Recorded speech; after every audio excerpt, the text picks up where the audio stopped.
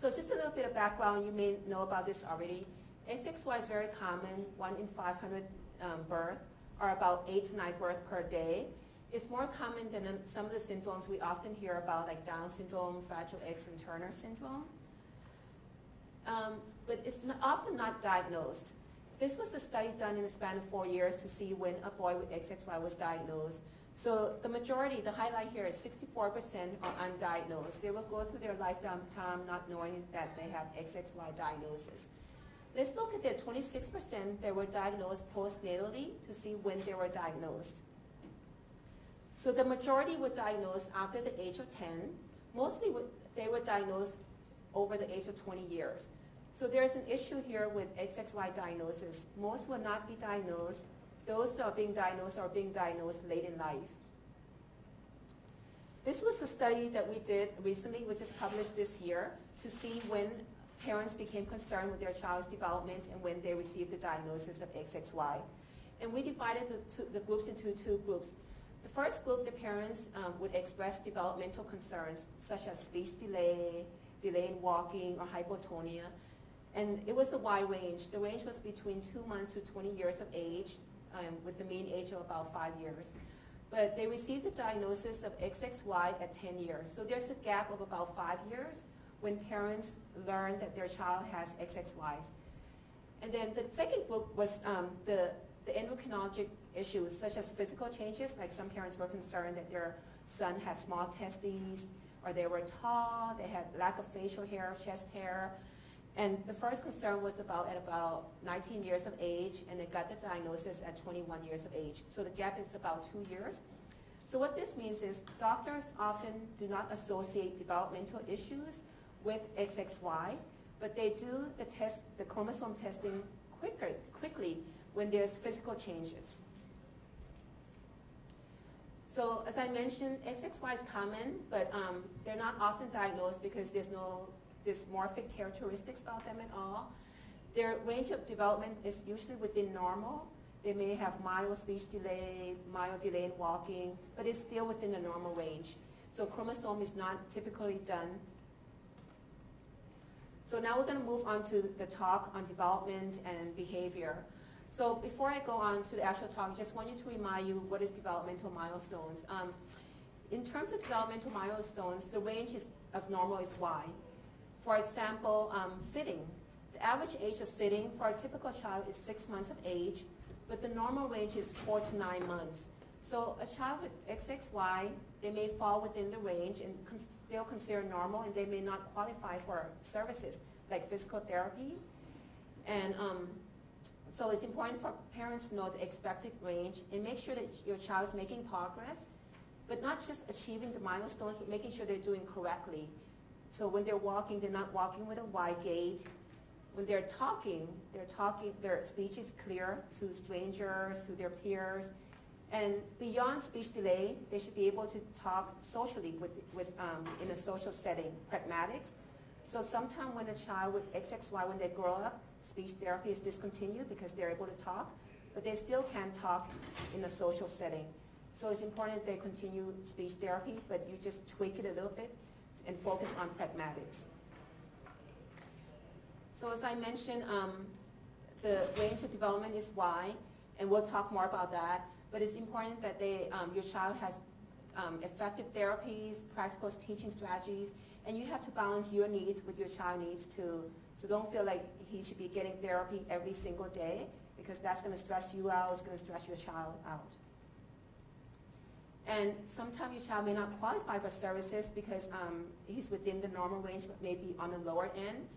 But um, the therapist should still come and, and look at your child on a, um, once a month or once every three months. And you can ask for a home-based program. You can get private therapy if the school doesn't offer therapy for him. And you can do different strategies um, like getting swimming therapy instead of physical therapy, join some social setting, um, to help with social skills if he's not, get, um, if he's not getting social skills training. And I want to emphasize that the whole point of therapy is not to catch up. Um, you know, if your child's getting physical therapy, it's going to help him with walking. He's going to make progress. But the main point of therapy is to make sure he does it correctly. Okay, so um, it's not to catch up and um, to speed up the process. Because sometimes when you speed up the process, he may not do it correctly. So the focus is on doing correctly and on long-term functioning. And quality is more important than quantity. And sometimes it's okay to take a break from therapies if you're feeling stressed out or your child is stressed out. Um, and the therapist provide guidance, and then you know you should talk to a therapist. Make sure you ask for a home practice program, daily practice, and doing it um, throughout the day, and teaching your child the correct way early because that's going to help with long-term functioning. Okay, so now we're going to focus on development. First, I'm going to talk about typical development, and then we're going to compare that to XXY development. Okay. So when we talk about development, we look at four things. Gross motor is your big muscle for walking and running Fine motor is what you can do, is your small muscle, what you can do with your hand, like handwriting, buttoning your shirt, dressing yourself. Language is divided to expressive and receptive, and then social skills. The two areas that most of the boys with XXY have problems in or challenges in are language and social skills. So first is gross motor, big muscle.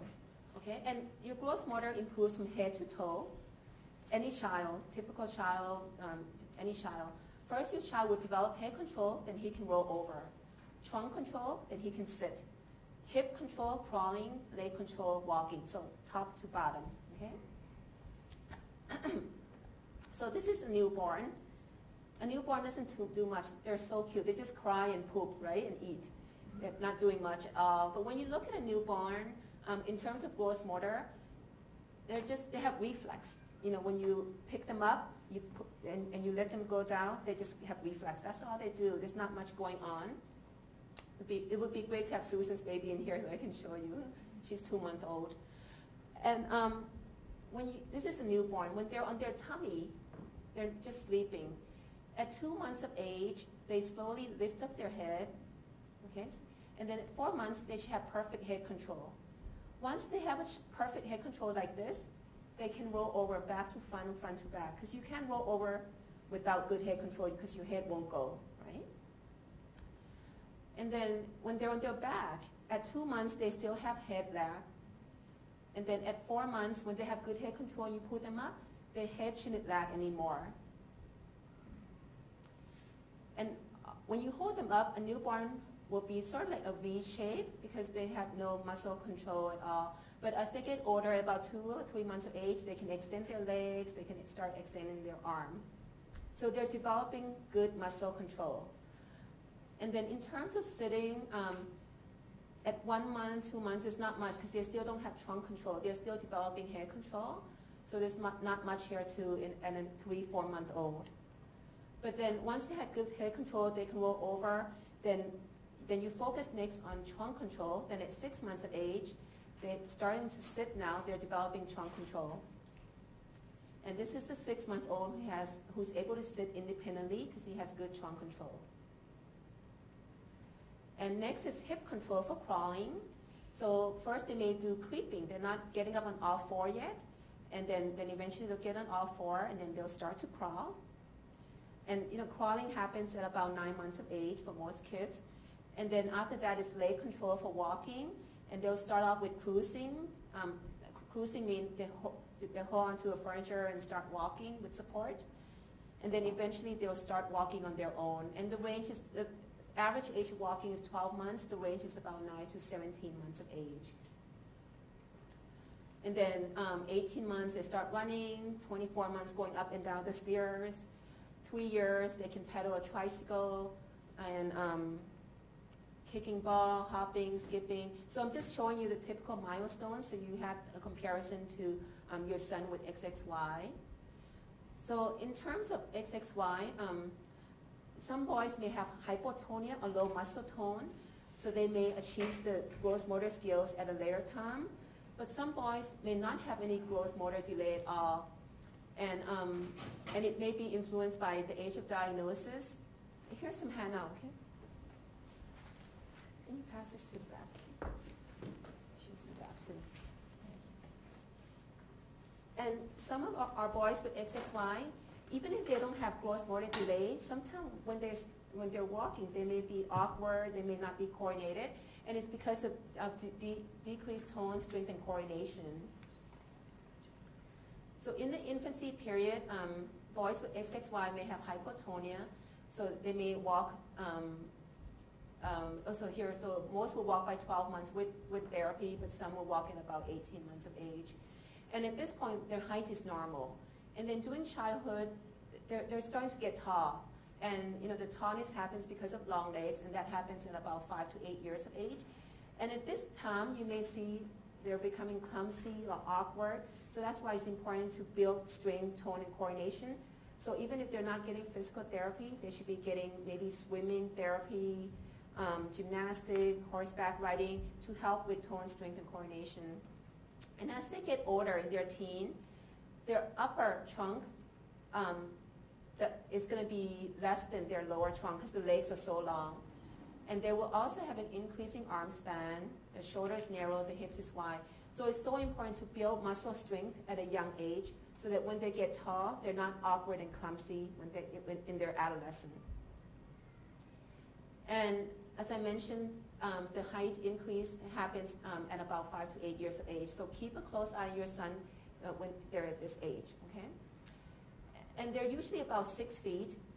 And they're, boys with XYY are taller. They're about six feet three. Um, but they will be about five inches taller than their father. Some boys with XXY will also have flat feet, and usually there's no treatment for this unless it's very severe. And um, I just had a patient who has XYY, who has flat feet, but it causes him a lot of pain when he's walking, so he's going to have surgery so that he can have an arch on his feet. And so if your child has delayed gross motor development, he should be getting physical therapy. But if he's not delayed in terms of gross motor, but if he's having poor tone, coordination, or strength, or he's awkward, he should be getting um, some sort of sport therapy like swimming, um, horseback riding. And if he's having difficulties keeping up with his peers in sport activities, um, you may want to seek non-sport activities for your son to be involved in to gain his self-confidence. We just don't want our boys with XXY to lose their self-confidence if they can't keep up with their peers. Okay, if you have any questions, just let me know. Does anyone have questions with gross motor before we move on to fine motor? Okay, yes? Uh -huh. Yeah, I just have a question. When you, I'm just wondering if the pronation has anything to do with, uh, uh, my son is four and a half and I still can't get him to really ride a tricycle. Yeah. But other things he seems to, like the skipping, he seems to be doing okay. So I'm just wondering. Yeah, that's that's common with boys with XXY because of the poor tone, coordination, and strength. So even if they can reach the pedal on the tricycle, they have a, they just can't coordinate it. Um, is that what he's having? Yeah, it's a coordination. So you should build strength in the lower extremities. Sometimes um, I tell my patients to have their kids walk on surfaces that's uneven, like sand, you know, like um, build a sandbox or grass or mattress, but of course, you know, not high mattress, so he's not falling. The uneven, walking on an, an, an, an surfaces that's not even will build tone and strength on the lower extremity. Mm -hmm. And swimming will help too. Swimming will help. And um, a fine motor is your hand, okay, hand-eye coordination. And this improves from proximal to distal, so from shoulder to all the way to the fingertips, okay? So in a new, again, I'm gonna go over typical development first. In a newborn, um, there's not much going on again. Um, they just have this fencing re reflex because they're unable to fo follow past the midline. So you have a newborn, you give them an object, they can only follow up to here, just midline. Because of this, they have the fencing re reflex. And then if you bring an object from this side, then they turn around and then the hand changes um, also. At about two months of age, they can follow past midline. So you bring an object, they can go all the way like that, all the way. Then the fencing re re reflex disappear, then they can turn their head now all the way. And then their hands start to come together at midline, okay? And and so when their hand comes together at midline, this is when you're having fun with them. They may be starting to reach out for toys when you give to them. They may be reaching out for your hair. So they're starting to explore um, toys. And we're actually doing a, a, clinical trial, not in boys with XXY, in, in infants with Down syndrome, and I think the same problems with, it happens with boys with XXY. In infants with Down syndrome, it takes them a long time to open their hands, so it takes them a while to put, bring toys to their face, and that delayed their learning. Um, because in typical children, it happens at about three to four months of age. So because um, kids with Down syndrome and also maybe XXY, it takes them a long time. So we're doing, we're creating a mitten, a, small mitten that we're putting in the child's hand, which has a Velcro. And we're going, uh, we have toys, blocks that has Velcro. So the child will put the mitten, the sticky mitten that has the Velcro to the toy. The toy will stick to their hand and they can explore the toy quickly. And that will help them with their learning and uh, development um, sooner than later. So um, midline play happens at about four months of age. They're reaching out for objects, bring objects to mouth. And then at six months, they're going to be transferring object. So you give them an object to hold, they can transfer from one hand to the next, but they're unable to hold onto two objects. If you give them, if they hold onto one object, let's say in the right hand here, you give them an object in the left hand, they'll drop this object. Because at six months, they can only focus on one object. And then at about eight months of age, they can focus on two objects, like this child here. Once the child can focus on two objects, they'll bang the toys together. They'll bring the toys and bang them together. And at this point, you focus on finger movement. So you may give them a small object like a raisin, and then initially what they're going to do is just raking, just raking objects with all, with four fingers. They're not using their thumb yet. Then eventually at about nine months of age, they'll pick up small objects with their thumb and um, their finger. And then eventually they'll have the most important um, milestone is the pincer grasp, where they're using two fingers to pick up small objects like this.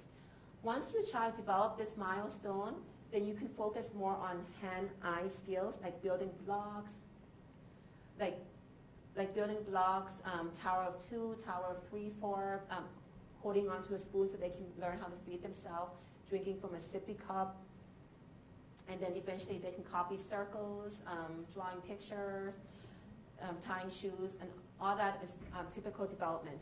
So now let's look at a boy with XXY. We'll look at some of the medical issues that may impact some of those skills. So some boys with XXY, um, this is a normal X-ray. You see the two bone here, the radius and ulnar, there's, it's widely spaced. In some boys with XXY, these two bones are fused together. When that happens, they have a hard time with pronating, the movement of their arm.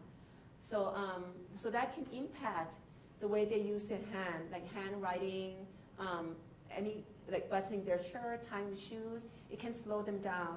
So the school needs to be aware of this because um, it may take them a, a while to complete the classwork assignment. And it's also important for them to get occupational therapy for this. Okay, so if you're concerned that your child has a hard time, like this child here, he's extend, oh, sorry. He's extending his arm. This arm is fine, it's extended, but this one is, you see the curve here?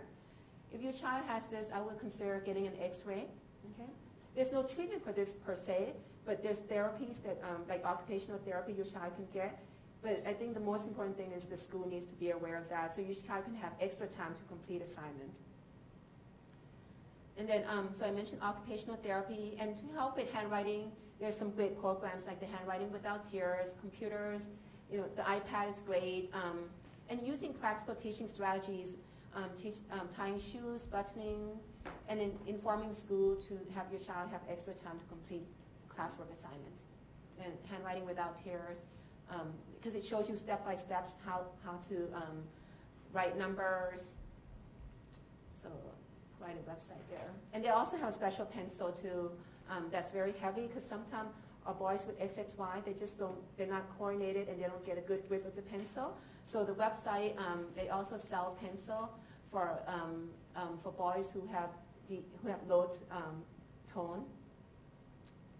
Okay, so next is language, which is the most important milestone for all boys with XXY because we know that the majority of boys with XXY will have speech delay. So again, we'll go over the typical development. And um, when we talk about language, it's divided into receptive and expressive. Almost all boys with XXY are advanced in receptive compared to expressive. Re receptive means the understanding. They understand a lot. There's a lot they want to say, but they can't get it out. So the expressive is always behind. So um, in terms of receptive, in a newborn or one month old, they're just looking at your face, you know, and express if they cry. That's their way of talking. And then at two months, they start cooing, ooh, ah, okay? And at six months, they start babbling, da da da, ma ma ma ma, okay? And, and most of the boys with XXY, they do babble at about six months. They follow a typical pattern, but it's the transitioning from babbling to words, which takes them a long time. A typical boy will usually say dada mama at about 12, month of, 12 months of age, but a boy with XXY, sometimes it takes them longer. It may be at about 16 to 18 months of age, but it's still within the normal range. So the parents may not be concerned, the pediatrician may not be concerned at that time.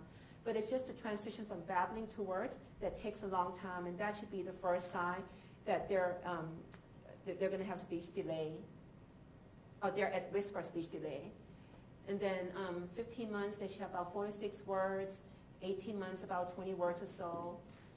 24 months, they start to have more than 50 words, and they can put two words together, like come here, um, want more. And then at three years of age, more than 250 words, and they're using pronouns, future tenses now. And this is when the gap gets wider um, between typical boys and boys with XXY. Okay? And four years, um, complete sentences. And then in, also beyond that, um, in terms of speech, we also want to make sure that the speech is clear, not just to parents, but to um, strangers, um, teachers, and peers. By two years of age, the speech should be clear, about 50%. At four years, about 100%. And that sometimes doesn't happen with boys with XXY. Okay, receptive, um, this is the area that boys with XXY don't have a lot of issues in. And, um, you know, just going to so at about 18 months, they should know at least, they, they should un understand at least 50 words. They should know their body parts and points to at least two pictures. At two at years, they should follow two, two-step command. Go get your shoes and bring it here. Um, points to name pictures. Three years, they should know their first and last name. At four years, they should know the opposite, like big and small, tall and short. They should be able to tell stories.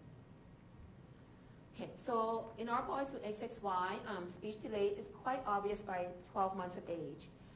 And, um, and first words is usually spoken at about 18 to 24 months of age. And by 24 months of age, there's a big gap between expressive and receptive. So your child may get the diagnosis of a apraxia. Does any of your son have that diagnosis as well? Mm -hmm. Apraxia, so that basically means the gap between expressive and receptive. And then um, in the preschool years, they're shy when the language demand is high, like in um, circle time or in group setting. And some of the men with XXY usually tell us that there's a tip of tongue phenomenon. So sometimes they know what they want to say is in here, but it just doesn't connect. It just doesn't come out. And um, it's more difficult in the social setting and, or, when it's being, or when they're being pressured to talk and then they have to make eye contact. But they can talk, but it's just not easy. And then, um, so the consequences of ha having a language delay, it impacts um, IQ, it impacts academic performance. The verbal IQ is lower than their nonverbal IQ, but the full scale IQ is sometimes within the normal range. And 50% of them are at risk for dyslexia, at risk for reading and spelling, and then so in social setting, they may have difficulties, they may be um, withdrawn, they get frustrated, or they may have outbursts. So the primary problem is language, speech delay. That's primary. But this leads to um, other problems like short attention span, um, social skills problem, the sensory problem, anxiety, depression, mood disorder. So because primary problem is language deficits, so we have to provide therapy for that so that it decreases your, your child's risk of having all these behavior problems. Okay? And then also studies have shown that the deficits in the language delay, the early childhood, continues on in, as they get older. And most of the patients that were in these studies were diagnosed late in life. But I think it's important for us to know so that if you have a young child, you can, there's things that you can do now to prevent some of the problems that we're learning from older men. Um, for example, some of the problems are that um, the social, there's social impairment um, in nonverbal um, cognitive.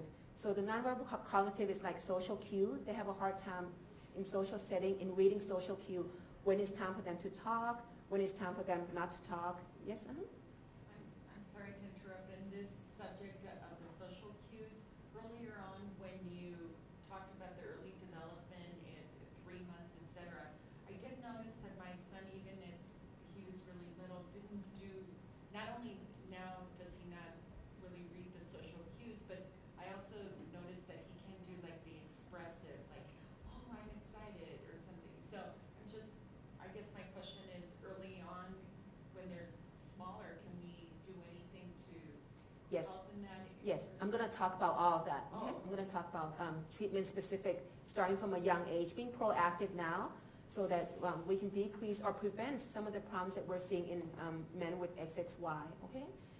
And, and so um, what we also learned from this study is that the younger group, when they have language deficits, they have more attention problems, but when they get older, the attention problem seems to go away, but there was impairment in language and motor function, but mostly social functioning? So speech therapy is important, but then sometimes um, your child won't be able to get speech therapy because the, school will tell you he's talking. So you have to make sure the IEP focuses on pragmatic, on social speech, um, how he's talking with his friends, how he's interacting in the social environment, which is completely different from a child with, let's say, Down syndrome who has speech delay and they're just learning how to get more words. A child with XXY may have enough words for his age, but he's just not doing it correctly. So it's important to have, um, to focus on the, the pragmatics. And social skills training is important too. Sometimes the school doesn't provide this because it's not an academic diagnosis. So you may have to look for private social skills training for your son. And then, um, and I think it's important to, for the school to know, um, for example, um, practical teaching strategies. Have your child sit in front of the class instead of in the back. If he's in the back, it, might, it may cause him to be more anxious because he can see all of his classmates. And um, at, a young age, um, having him have a lot of play dates with his peers, helping him at a young age on creating friendship and building self-confidence because that will be important as your child gets older. And then, so now we're going to focus on more on language development. Even if you have a young child who's not talking yet, let's say he's less than a year old, you can still do speech therapy, uh, working on pre-speech. I, know, I talked about big muscle, like walking and running, and some of the boys with XXY have hypotonia or low, low muscle tone. But we also can't forget about the small muscle, which, which is our facial muscle. And sometimes boys with XXY have um, decreased um, skills when they're talking. And if your child has feeding problems in an early age, that's probably a sign of um, low skills in terms of the, the, the coordination of tongue, mouth, and, um, and jaw. Okay, so the way to practice that to improve tone, strength, and coordination is to go to this website, talktools.net. They have some um, toys that's not expensive that you can teach your child how to blow bubbles, looking at the, mirror when they're talking, sipping from a straw. That will prepare them for talking.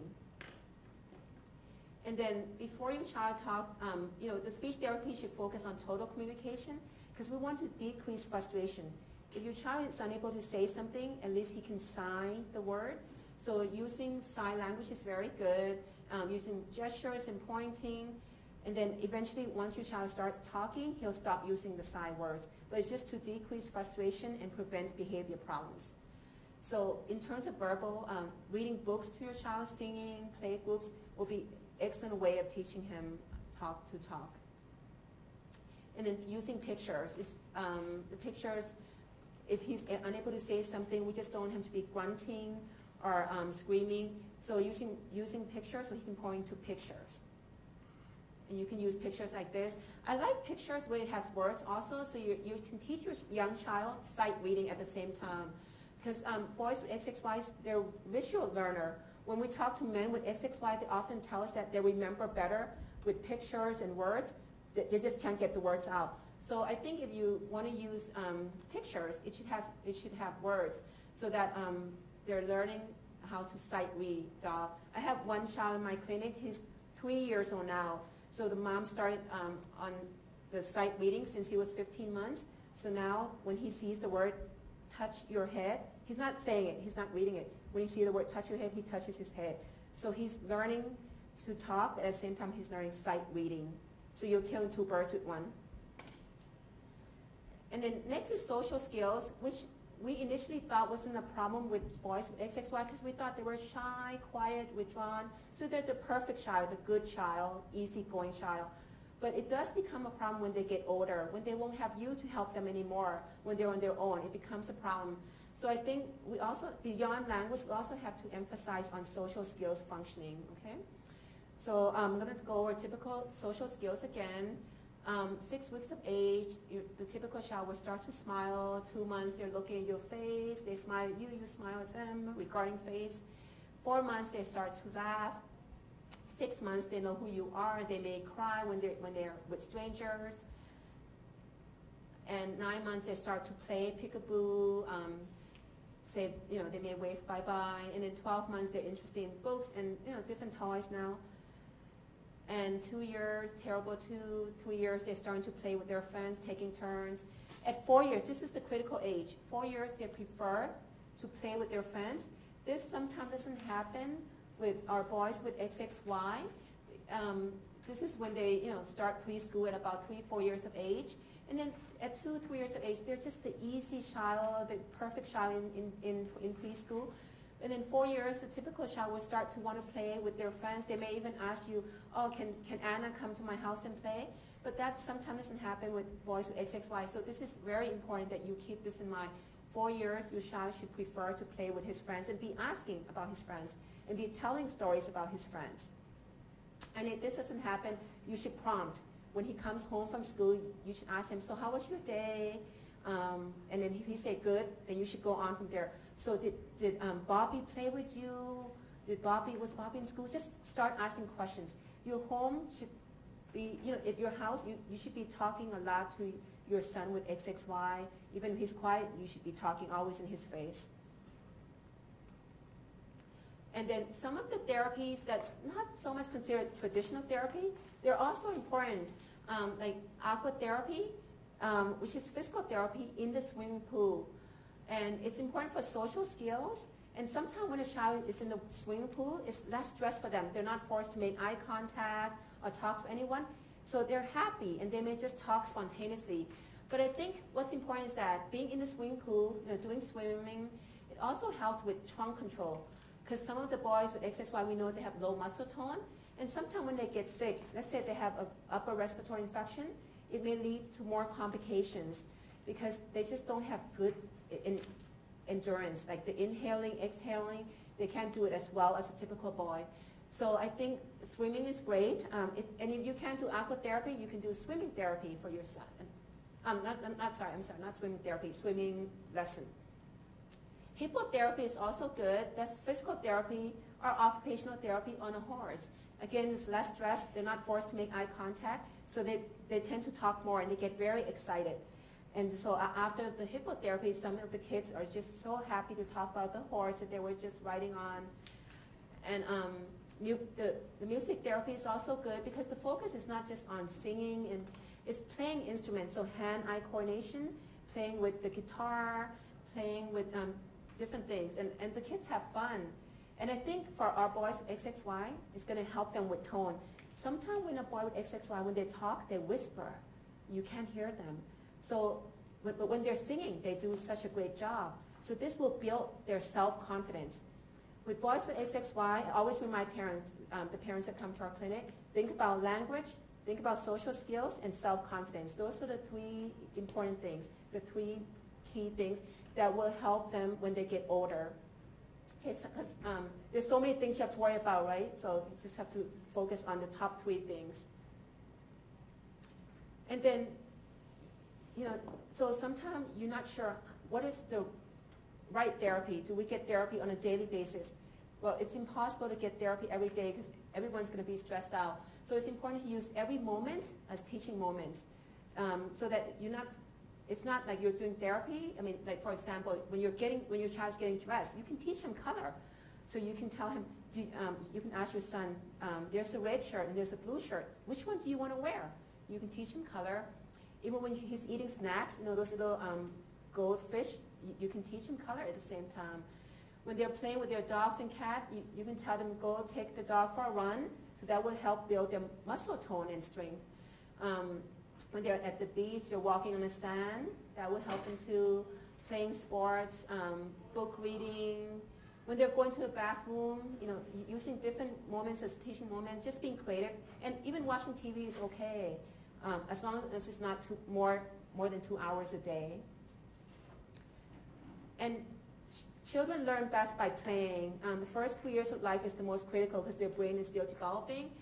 But playing is the best way for any child to learn. And you know, you start playing with your, your child from the time they're born, and using toys as um, teaching instrument. When you're playing with your child, you want to explain them what, what does a toy do, um, you know, what color it is, and um, and then being in front of your child's face. So sometimes when you play with your child, sometimes parents get in the back. You know, it's important to be in front of your, child's face because we know that boys with XXY, they tend to be shy. They tend not to make eye contact.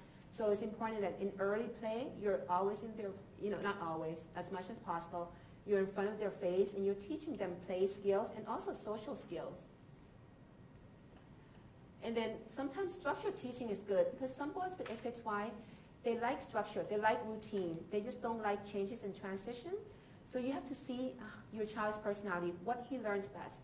They, might, they may like structured learning, like doing the same thing every day. We're, we're going to read right after um, dinner time. So it just depends how your child learns.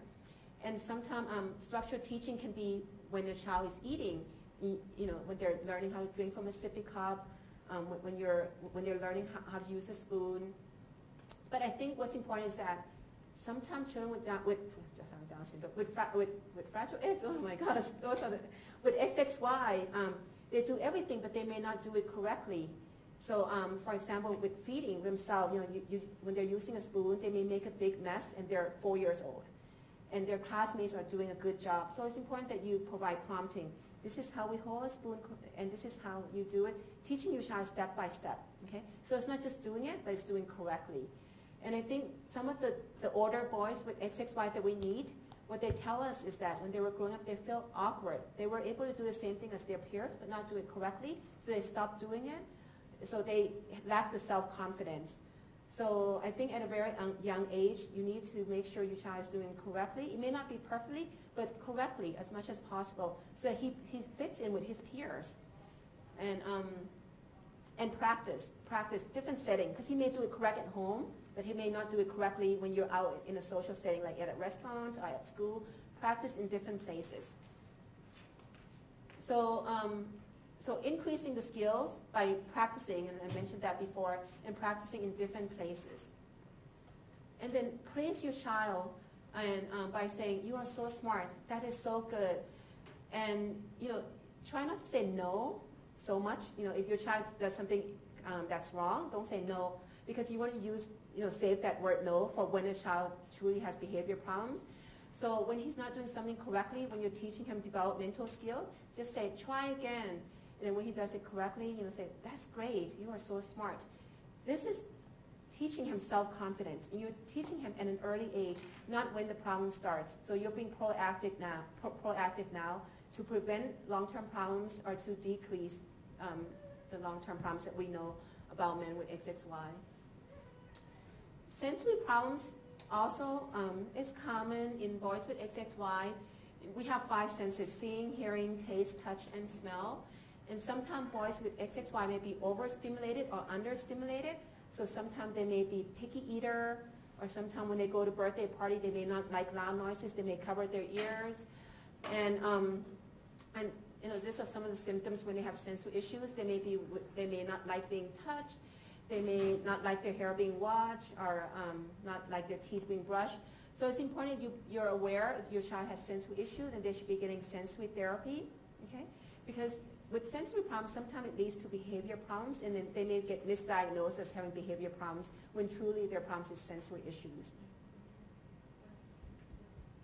Okay. Next is behavior. Um, so there's been lots of studies on behaviors of boys with XXY, and it's just depends on when they were diagnosed. Um, some of the, the studies show that they're friendly, they relate well to people, they function well in a social environment. Some say that they're very timid, they're immature for their age, they have poor, poor, poor relationship with their peers. Some say that they're at risk for anxiety, depression, substance abuse. It just varies. It's, it varies, but I think it's important for us to know so that um, if you have a young child, there may be things that you can do now to prevent some of those problems. Some of the new studies are coming out, and it shows that in adulthood they have social issues. They have less engagement in social functioning. They have difficulties with expressing their needs and wants, so when they're with their peers, they may not speak up. Um, so they're very quiet. And a study in 2009 showed, it was a small study, showed that 27% are at risk for autism. But again, it's when they receive the diagnosis and what therapy they get. So you have a young child, you have the opportunity to know more about XXY and to get the correct therapy for your child.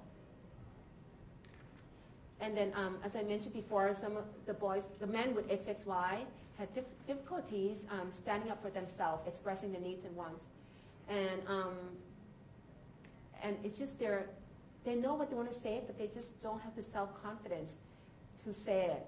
So it becomes a problem in long-term functioning because they don't have their parents to help them anymore. Let me go on this. So this was another study asking the men with XXY themselves what area they rated as the, having the most challenges. And it was five areas that they ranked as having the most um, difficulties. Their well-being, self-confidence, body image, the mental health, and general health. They were concerned about all of that. And, um, and also, the age of diagnosis were not predictor of these issues. It was more, the men that had better psycho, um, social outcome were those who had a, a full-time job, those who had social support, those who had a lot of friends and family, that supported them, and those who had um, physical features in terms of those who were skinny and had better outcome than those who were obese. Okay, so to keep that in mind too. And that's in general too, I think, you know, in the general population. And I think the main message here is self-confidence, self-confidence. So you want to build self-confidence for your child at an early age.